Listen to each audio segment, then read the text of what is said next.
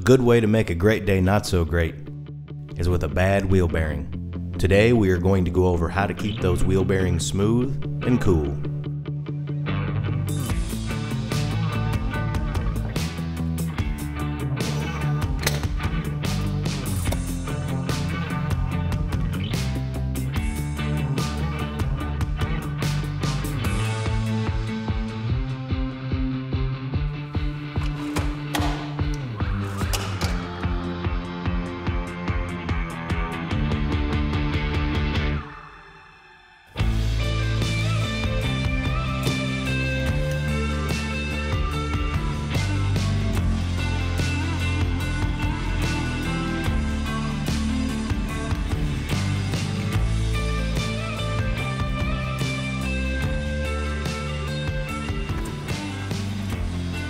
Keeping those bearings greased is an easy way to be sure that your trailer pulls down the road safe and smooth.